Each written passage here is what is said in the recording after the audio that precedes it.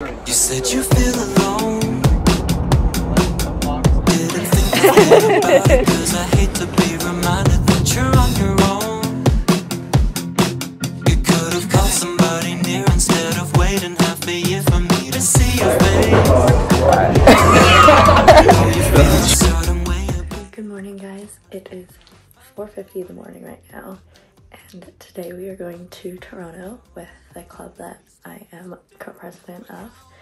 Um, and we are taking a group of students to tour labs. So we're going to Sick Kids, University Health, a couple other labs kind of in that hospital district. So I thought I would bring you guys along. Super exciting. We've been trying to do this for like three years since I started the club, and we're finally doing it. So really early morning, it's okay. I have my breakfast being made downstairs and I'm gonna go pick up Ethan and Jordan who are the other execs in the club. Jordan's co-pres and we're gonna go to Toronto. I'm super excited. I'll show you guys along. Yeah. Show you quickly what I'm wearing today. So all Lulu fit. Had to do it too. I'm wearing my dance studios. I'm wearing like a mock neck top underneath and then just like a pullover. It's gonna be really cold in Toronto today, negative 21. So long puff is coming with me. So bringing my hydro flask and some masks and I'm gonna put my hydro flask in Jordan's backpack. I go make my breakfast. I need to like go pick everyone up. So I need to get a move on. Thank you guys for watching. I haven't made a video in a while, but thank you guys always for watching and don't forget to like and subscribe.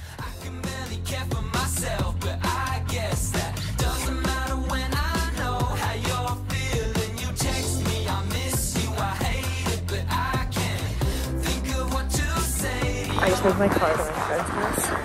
Um, Ethan is MIA. It's really fucking cold, so hopefully he comes. The bus is there. during the pandemic, and you be doing the We're signing people in. There's like So there's like two people at either left. Yeah, So yeah.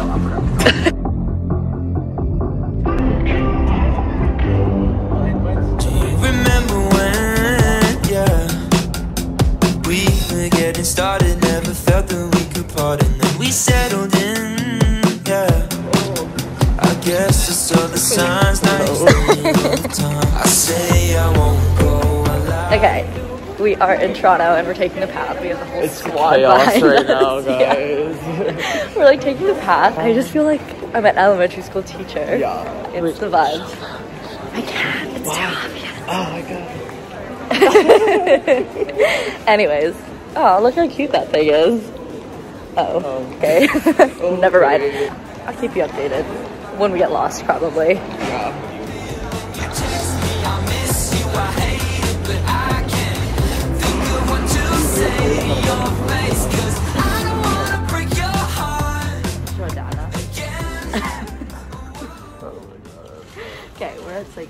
We're just waiting in the lobby. Yeah. Um, we gave everyone our spiel. It was good. I feel like we did a good job. Gave it twice. um, and we were gonna go to Starbucks, but it's too cold and we don't want to walk. And we're not caught up on it. And her, what's it called? Yeah. Or, order ahead wasn't isn't working. so Yeah. we're not doing it anymore. Yeah. I'm not that mad. Guys, it's negative 20 right now. Is this one, like, what's like the, like, shit? Yeah, we should. Like, we should. like, Okay, we're gonna do some summary? research for this lab, but Oh my god. we'll talk to you like soon. Hey guys, um, here from the future. I just wanted to quickly explain what this trip kind of was because I don't really get an opportunity to talk about that. Basically, Jordan and I are the co-founders and co-presidents of this club at Western called the Undergraduate Pathology Alliance at Western. It's for the pathology department here within medical sciences. Um, and a really big goal of ours when we started this club two and a half, three years ago was that we wanted to do a Toronto lab trip tour. We weren't able to do it last year or the year before because of COVID, but now that things have finally opened up, we managed to book four tours across Toronto to let us and a group of 20 other students come in and see the facilities, network with researchers as well as their postdocs and grad students, and really get to see what the labs kind of look like. So that's kind of what we're doing for the rest of this trip. I will continue to update you throughout the vlog because as, as Jordan and I are running these things, I don't always have the opportunity to just pull out my phone. A lot of the times we were on a time crunch and we had to get to the next lab on time. So the first tour that we ended up seeing was the Howell tour and that was in the Sick Kids building. It was a really, really cool facility and they showed us around their wet lab, showed us some of the tech that they have going on. It was really great. We got to learn a lot about the biofilm they're studying in terms of bacteria. So the next tour that we ended up going to was last minute across the city at University Hospital West. We trekked 30 minutes in negative 30 across the city and we toured Dr. Robert Chen's lab and he does a lot of movement disorders, particularly Parkinson's. Unfortunately, we couldn't get any footage in there, uh, but it was a really cool experience and definitely a lot different than the last one. Uh, oh. Like, It's us. you- Ooh, this might be a good reel. Hey y'all. Hey. Um, so we just finished up the second tour. It, not as like small type stuff. It was like more patient based. Yeah, it was interesting. We Yeah. saw some girl's brain. It was cool. Yeah, um, we're gonna Uber back and get ramen with Marcus now. He's coming to meet us. We are Ubering there because it's cold and also we don't have that much time. So, yeah. Yeah.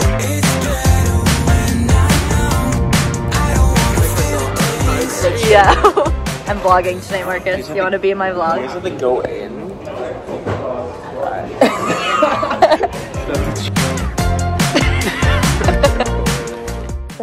Labs we booked were in the same building, a lot to do with hematopathology. They definitely structured their tour a little bit differently. So the first one was with Dr. Branch, and he had a couple of his postdocs come in and do presentations on what their research was on. uh, control for inhibitions and at the time there is no value commercially, which is the care in uh, mouse. And then they took us up and saw parts of what they do in their everyday life um, when they're running their experiments and doing their research. Along with the all, uh, all the RBCs that have been phagocyted by them. So counting is not The second group, we did a little bit more of like a sit down Q&A type of thing. We talked to grad students, PH and two PhD students within the Lazarus lab. That way a lot of the students that came on the trip with us got to ask a lot of questions about things that have come up during the day that they weren't sure about, how they got into grad school, what led them there, what it's like doing your PhD versus grad school, and where they kind of see themselves going in the future.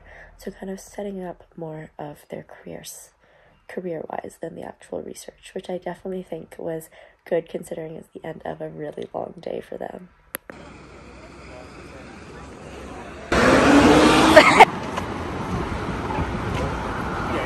Well, we got to the bus station and they just said that it was delayed Yeah. half an hour. So we are going back to get schnapps Yeah, because we're hungry as fuck. yeah, and I want bubble tea. It's not gonna be the bubble tea I wanted, but But it'll be a bubble tea. it'll tea. be a bubble tea. So it'll so- quench that that That- flavor. a little that- bit. Yeah. A little. I'm worried that no one's gonna come back on I'm- time. I don't. I'm worried people are gonna come at 5 p.m. here.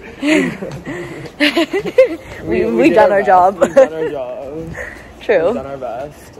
They know when the bus is coming, so it's okay. I think we need to have faith in them that they'll come. Yeah. After today though, I don't know. Yeah, when we've lost so Oh my much. god. I feel like every time like so many people got lost. But we found them. We did find them. Just they weren't on time though, and that doesn't help when the Yeah, bus leaves was- uh, when yeah, it leaves. it's okay. Whatever. Yeah.